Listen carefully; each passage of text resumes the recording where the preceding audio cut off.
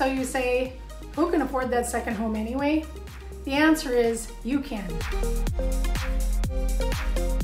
Many people have their dream of a second home, a vacation home of their very own, but they believe that that dream is just way too far off.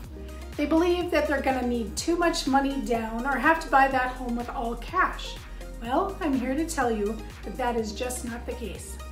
Many people who purchase their second home here in the Grand Forks and surrounding lakes area can move into their home for as little as 10% down. That's right, 10% down.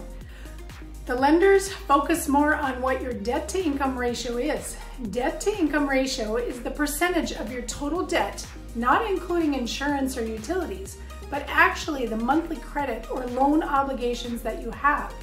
In most cases, your total debt to income ratio can be as high as 50%. Well, what does that mean? That actually means your total loans and payments, including this payment for the second house, can be as high as 50% of your income. That gives most people a cushion and a great leeway to qualify for their dream home or second vacation home of their very own.